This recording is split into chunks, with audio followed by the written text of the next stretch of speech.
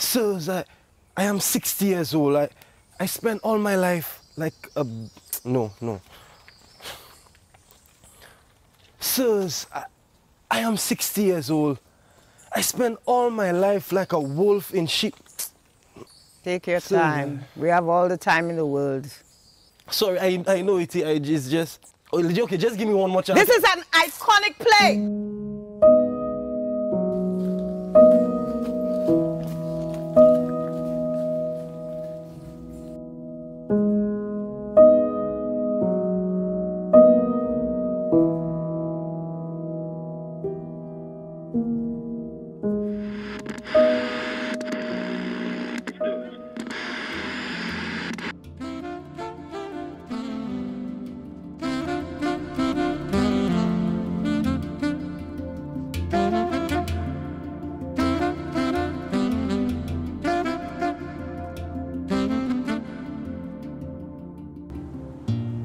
Quick, quick, before they all die, the hard ebony head of Arthur Jacobs, the bare pate, the broken teeth that make his grin more powerful. A man with no money, despite his tremendous presence, light as a leaf and as delicate, dancing, coal black and like coal packed with inspiring fire. A diamond with its memory fading. Jesus, the beauty he contains, a beauty of soul, no less than that, a wit, and intelligence. The degrading indifference he has had to endure, some of the best already gone. Wilbert Holder, Claude Reed, Ermin Wright. Against the wind for a long time, they kept a steady flame of devotion. They had to do what was right for their calling against their most polished detractors, like those who claim they cannot be black and actors. I mean, mean minds who find a contradiction in their passion and sacrifice, but whom I cherish more than the most overpriced fiction. I must clear the house of my head. I must make room for a shrine before they all die with fireflies and starlight. Makak! Makak, wake up, it's me, Moustique. Makak! You didn't hear me calling you from the front of the gully? Look, I bring a next bag from by Alcindo Cafe. Today is a market day. And time and tide wait for no man. I, I tied Bertilia to a gomye tree by the Wavin. Bertilia? Which Bertilia? Listen to him. Which Bertilia? The donkey you and I buy from Felicia. A rare blend of passion and humility. Arthur Jakes Jacobs is described as an artist in the truest sense of the word, a creative with a profound and centric talent honed to its sharpest peak. Make a white mist in your mind and make that mist hang like the, the cloth from the dress of a woman on prickles, on branches. Make it rise from the earth. As I brush through the bushes, shaking up the dew, a man walking through smoke, a, a bandage of fog and peel my eyes as I reach this spot. I see this woman singing. My foot grow roots. I could move no more. I knew him on the stage when we acted in different plays. Um, Sea at Dauphin, I think it was, that's right, many years ago. Uh, Henri Christophe, mostly Derek Walcott's plays. I, I, I part, but he was always a lead actor. That was his strength. He had a fantastic memory.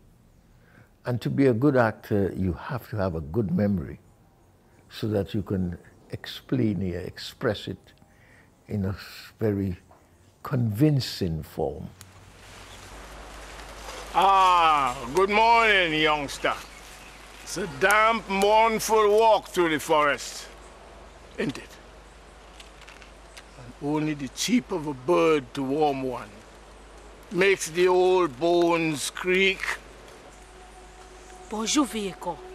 My name is Tisha. What I can never forget about Jakes on stage, there were two little children who were supposed to be the offspring of the princess. And the princess is murdered in the play, which is played, a part played by Zin, Zin Thibbles, who was another famous Arts Guild actress. And when Jakes thundered out in one of his lines, the children started to cry. They were supposed to be dead. they were frightened out from death. he won an award, best I think, best supporting actor for that play, and that was my first experience with Arthur Jacobs. Arthur Jacobs had a love affair with stone and wood. He was a self-taught craftsman and sculptor, using salmon and mahogany found naturally in St. Lucia. Creating unique North American pieces, some of his commissioned work can be found in Government of St. Lucia offices, royal palaces, foreign diplomatic offices, and places of high esteem. As a sculptor, he created bronze busts for famous St. Lucians like Garnet Gordon, Louis McVane, and Dr. Carl Le. He studied sculpting, right? He had gotten a, a, scholarship, a fellowship to um, go to the United States. I think I think this would have been way back in the oh boy, maybe early 70s. I'm not even sure. No, earlier than that. No, I mean earlier than that. Um, I think. I think I'm, I'm, not sure. To, to study. Um, so you did sculpting. Um, but I mean, you couldn't really make a living as a sculptor here. And so, you know, you, you went into like, you know, making gravestones and plaques and that kind of thing. Um, and also the, the, the, clocks, you know, the, you know, in shape of St. Lucia and that kind of thing. And, that, and that's, that's, what, that's what he put his, um, that's what he put his, his skills, the use that he put his skills to. But I've wondered on more than one occasion what his sculpture would have been like, what, you know, would have been like. And if he had, if he had really had the, the freedom to, to do it, you know, what, what that would have been like. Um, really phenomenal man, you know. As often the case with creatives, Arthur Jacobs' talent bled into music and theatre. He joined the St. Lucia Arts Guild in 1959 at the age of 22, under the tutelage of Guild founders Roderick and Derek Walcott. Jakes blossomed as an actor. My eldest brother Hogarth, right, who's would have been a few years younger than I am, than Arthur Jacobs. He's, he's 10 years older than I am, younger than Arthur Jacobs. He was in the St. Lucia Arts Guild, right? Um, and from time when, when he was in that, that probably would be late 50s, probably early 60s, um, late 50s, early 60s. And um, he used to be coming home with the scripts of the plays that he was, that he was, uh, that he was um, performing in. I would be helping him to learn lines. And then I would go down to the, to the, um, to the town hall, to the Castries Town Hall, where Roddy Walcott would be directing. And I would sit at the back there, and I would watch the actors performing, well, you know, rehearsing. And Jakes would have been there among some of those early plays. I could remember that, you know. I've seen him perform. I've performed with him. I think once or twice I've directed him. At least I know I've directed him in workshops. I, I may have directed him. Very, very easy to di direct. He doesn't have the airs of a prima donna or pretensions. You pay me no real respect. You tolerate me. I amuse you like some pretentious servant, a fellow dressed in his master's outfit in front of a mirror. Alors, General, Commander, you're more than that. I'm not a commander, General. My name is Francois Dominique Toussaint. I am a coachman. I was employed under the kind care of Monsieur Calix Brida. Jakes was, he was a very quiet person, in a way, in the sense that he didn't speak much, but when he did, he exuded a very strong area of understanding and thought he had strong expressions of how he felt. And he had a good voice. that made it very interesting and thoughtful. He was a consummate performer, one of Derek's favorite. And I just uh, quickly put a list together of the plays that I have. Uh, the only one I haven't seen him in is Haitian Earth, but he was in Makak, the lead in Dream of Monkey Mountain. He was Papa Bois in Ti-Jean and His Brothers. Then he was uh, one of the three, uh, Three in a Rain, is also called Sea of Dauphin.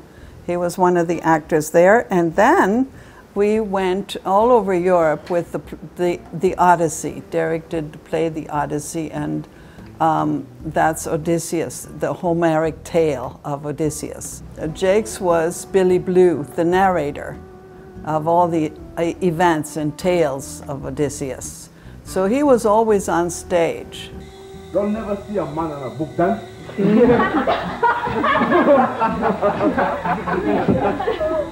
Day and night you read it. Apun kumtang en kumterun crap. As usual, this is good.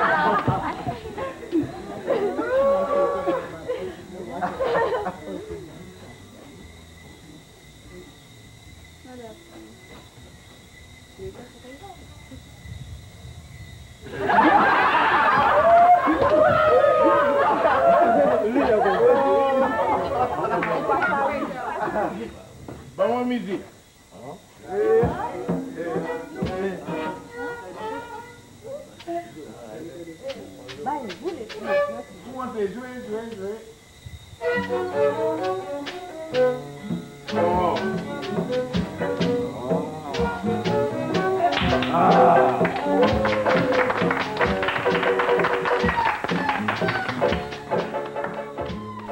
As a little girl, I remember being very excited when there were plays that were being staged for the first time. You know, I remember Chanson Marianne, Banjo Man, when they were first staged. Um, I remember at that, that time, um, the radio and the newspapers featured a lot in terms of promoting promoting um, the plays and anything that was happening with theatre. So you'd hear um, excerpts from the plays being um, used in advertisements on the radio, you know, particularly um, after the news or around that time. And it was very exciting because I could, I could relate considering that I had for, for weeks heard my father practicing his lines, you know, and um, seeing the script, I would go through the script and read the script, and I just found it so interesting. My father was not an actor who acted as if he was acting. My father is a natural actor. When he went on the stage, I mean, he had the mood, he had the, he channeled the character, you know, that he performed. So, in my young years, that always fascinated me how it is that you could do that. After the revolt of Boukman, such a series of savage, vicious scenes of hatred and revenge, such godless brutality, that I felt ashamed of my own race. For what they could not inflict on the army, they took out on the citizens.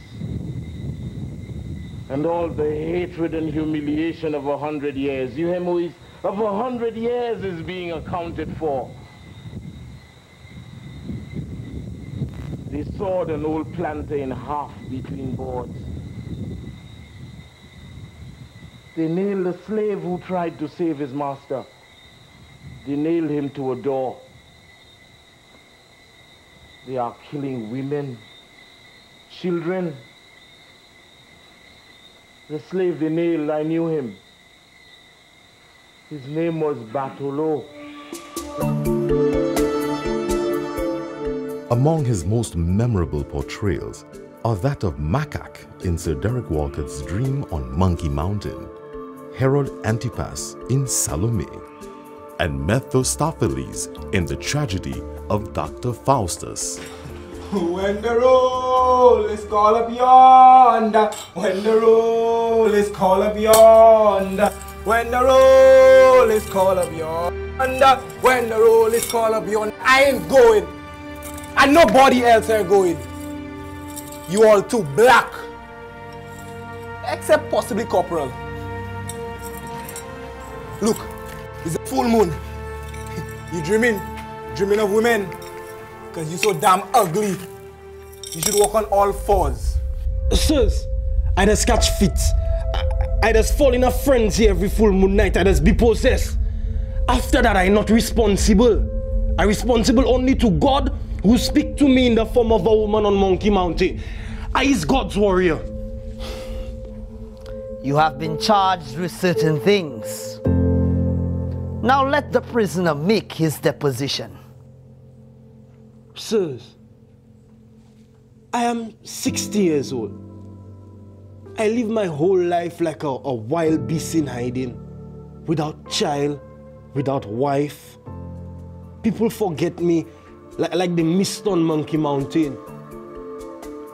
Of all his performances as part of the St. Lucia Arts Guild and through his career, it is unanimously agreed that his most iconic and acclaimed performance was as Toussaint Louverture in Sir Derek Walcott's play Haitian Earth, produced by the government of St. Lucia in 1984 to commemorate the 150th anniversary of the Haitian Revolution, the first successful rebellion by the enslaved people.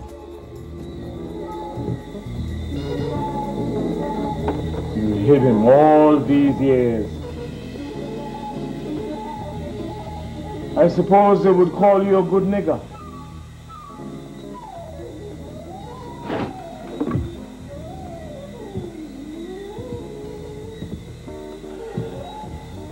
You saw what I have had to do.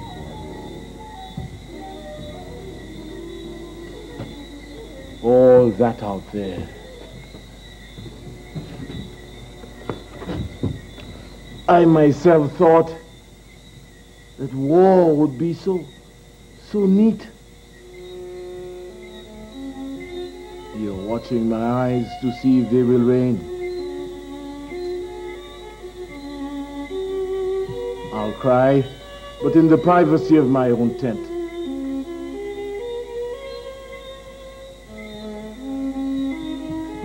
Forced me to this decision. Well, all right, I obeyed the rules in peace as I obeyed them in war, to destroy the enemy and destroy the past.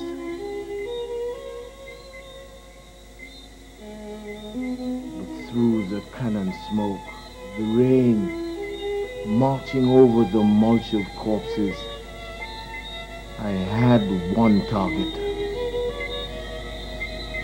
I kept Pompey as the pivot of the war the axle of the revolution.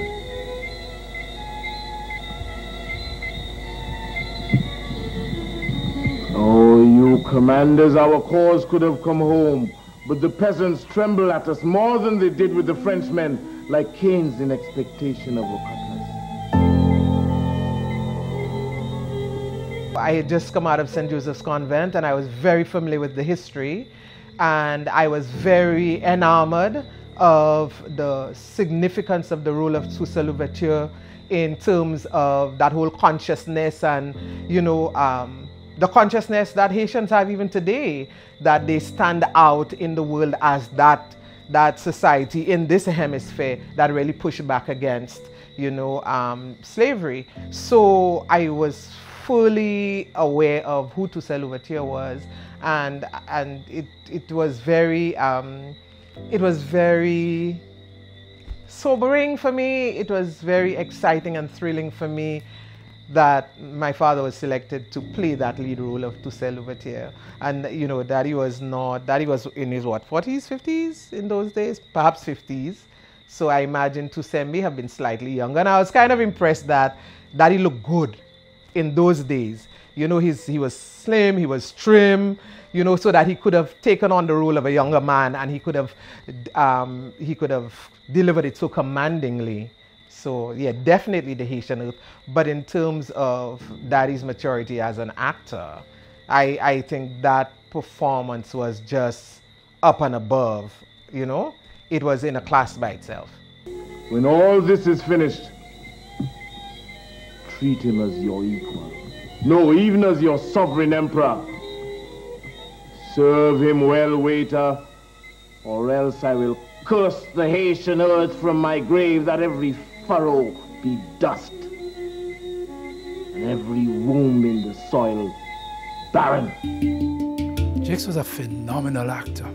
He really was. I mean, I've, I've, heard, I've, heard, I've heard Derek say so that, um, I remember when, when they were doing um, excerpts from Haitian Earth one time, yeah, that he's, he's a world-class actor, and he really is.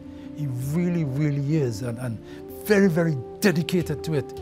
Pe people have stories about Jakes um, on, the, on, on the beach, closer to, um, to the cemetery side, in the mornings with a mirror, trying out lines and trying expressions and that kind of thing, early, early morning. I said, wow.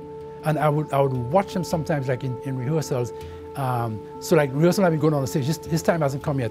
And he'd be there, he'd try out a line three, four, five different ways, different intonations, different speeds. He just, you know, just, just trying things and listening to himself, you know. He really, he really had a, a he really had a, a, respect for the, for the craft that, that he was in. Idiot! These creatures are mine. A big man like you? Who you is?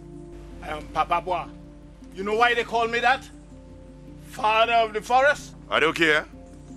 No, you must care. Care for the brown frog that hops in your path. For the blackbird drinking from a pool in the road, Grosjean. Push off you, Papa. What you have with your foot? please, please. I acted with him in the Haitian Earth as he, I played Christophe um, and he was Toussaint. Here. Wear it. You're supposed to be my emperor, even at six in the morning. This medal here, Toussaint gave it to you at Dennery. We stopped fighting to watch you crouched at the gallop of blacks screaming for your banner. You were then the sword and reason of this war. One by one, you cutlass legions of dragoons like sugar, and wheeled around again like a tiger spinning on its heel, till all the lances of the French legion were piled level as canes, and there was nothing standing between your fury and the setting sun. And so it went from cat to army Across the ridges, the soldiers saw you half welded to your horse like a black centaur and whispered, this is an act. Look, it was just an iconic situation because you had icons of icons in that. Just to give you an idea, you had Gundolf Saint-Pierre playing Désolé. Excellent Désolé. Diminutive, and he used his body weight to build the stature of Dessalines, who was larger than life, including crying on the stage without makeup. Um, you, you had um, Eric Branford, who very good, uh, very good actor. Irvin Norville, who just passed away. You know, of course, Arthur Jacobs. And there, there, were, there were some Peace Corps, Peace Corps guys. There was a guy who played Anton. I don't remember his name right now. Very good actor. Yours truly played um, Christophe. And to be directed by Derek Walcott and his own play at that. So you can imagine what was happening. In fact, there was electricity on the stage in every sequence, you know, so much so that the director used to fly off the handle at times because these actors went into dimensions he never even saw in the script, you know. And Walcott always loved to be in control. And sometimes I felt that he was feeling he lost control, so he snapped at his actors. And there were disagreements. All of us, all of us had disagreements with him. But the next day we finished it up. It's just pure, like professional. Well, Arthur was the kind of actor that he commanded the stage. And he had an incredible presence and charisma on stage. And he had a wonderful voice, a very deep, a baritone, and clear. His English was perfect. And of course, Derek gave him the words to speak, so he was fantastic. He, he really was. And that was a hard role to play, of course, because it was about an old, beaten up old man who lived by himself and isolated too from women. He only had one friend, Moustique, and they would sell charcoal every week at the market. And that was that setting is, by the way, in St. Lucia. I think one of the things from my father that we learned very early. It was that if you're going to do something, you had better do it well. If you if your heart is not in it, or in other words, you are the best person to be the best of yourself. You know, you are an original, so you have whatever it is you put your mind to. If it is worth doing at all, you have to give it respect. And so that is one of the things that has stayed with me um, in terms of the ethic, your work ethic. You know, my father worked at his lines and he would rehearse and rehearse. They're hoisting the sail. The longboat is ready. You must go. I know, General. The earth is cracked. There's division among the soldiers. There must be peace. Call yourself a hostage to peace, General. And you promise the first consul to cooperate. That when you are in exile, you will not try to make use of your authority. My authority? When this voice had authority, it lived in expectation of an echo. By the sea, armies, breakers throwing their caps in the air, lances of men bowed to it like the canes. But now it is an old man's cough, rattling gravel in a riverbed. My tongue is a dry leaf. The sun has set in my throat. My authority is hoarse. A child wouldn't obey it. No, sir.